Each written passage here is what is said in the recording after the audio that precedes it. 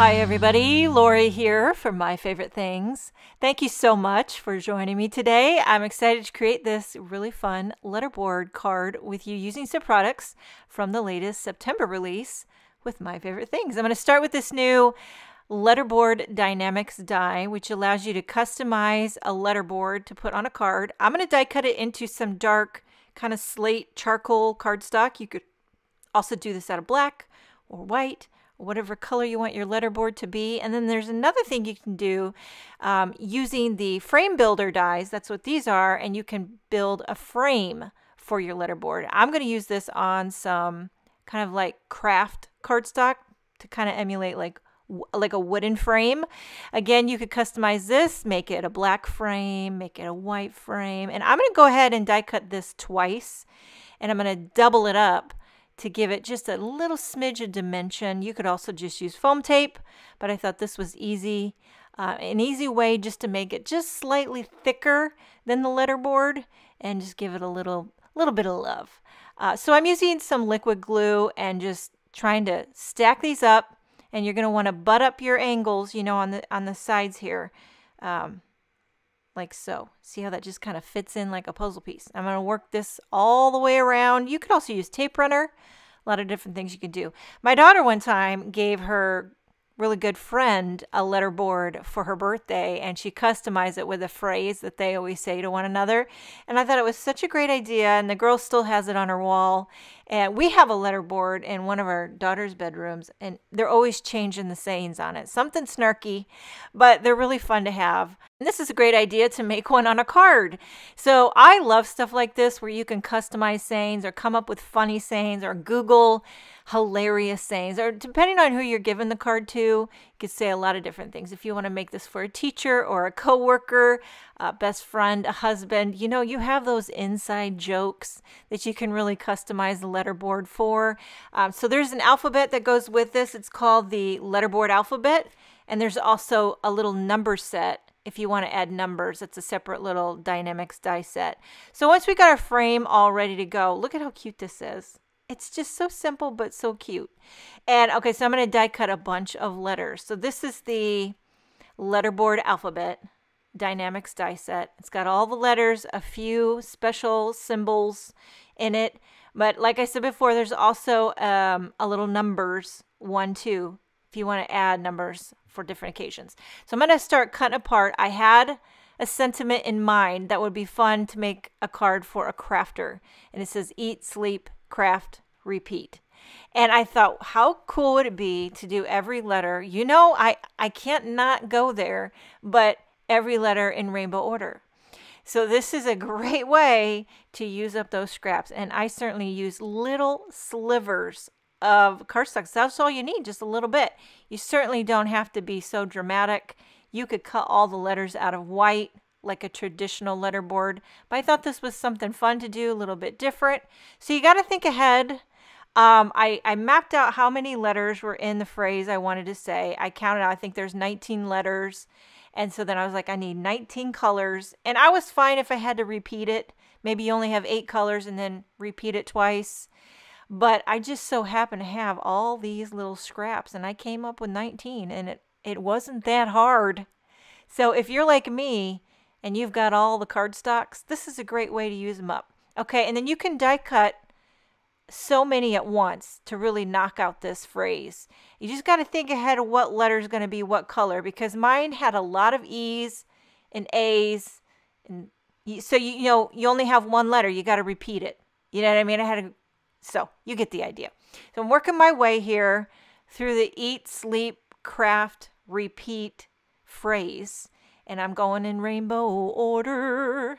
This is a great time to use that, uh, what is that, embellishment wand? Stuff like that. A quick pick tool or embellishment wand is great for little projects like this. And um, just getting all those letters cut out. Now, here's what I did. I fiddled and futzed all the live long day trying to get these straight. Do they need to be perfectly straight? No, because sometimes letter boards aren't perfectly straight, but the OCD in me just wanted to try to get it as good as I can. So I used that little retractable needle tool and fiddled and futz for a good while until I got them good enough. And then I pulled out the old press seal. Shout out to Ken McGuire. If you don't know this already, I feel like everyone knows it. Jennifer McGuire's husband, Ken McGuire, invented press and seal. And every time I use it, I give a good shout out to Ken McGuire. So once you get your letters how you want them to go, put down some press and seal carefully. Do not sneeze. Do not laugh. Do not huff or puff. Press those all into that press and seal, and then you can carefully lift up the press and seal, flip it over, and add your adhesive of choice. Now, I certainly did think about popping these up, but that was that was further than I wanted to go.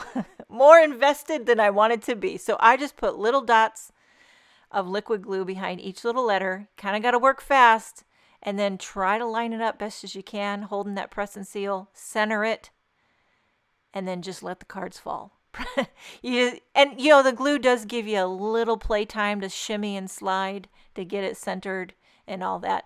And then just give it a good press. I let it sit for maybe a minute because you want to make sure it's adhered. You pull that press and seal you might pull the pull the letter right off unless it's you know you know what i'm saying. Anyway okay. Carefully removing the press and seal. Now look at how cute that is in rainbow. I mean, forget about it. You could stop right there, but I thought since we're doing a crafty card, why not add some crafty embellishments? So this is the Crafty Tools Die-namics die set, and it's got all fun crafty tools.